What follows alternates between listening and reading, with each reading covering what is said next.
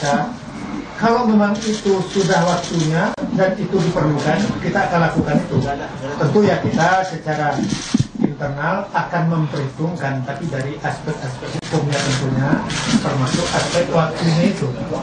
Jadi penanganan kita, kita objektif murni fokus pada ketentuan hukum yang ada. Saya pikir demikian dari saya. Menanggapi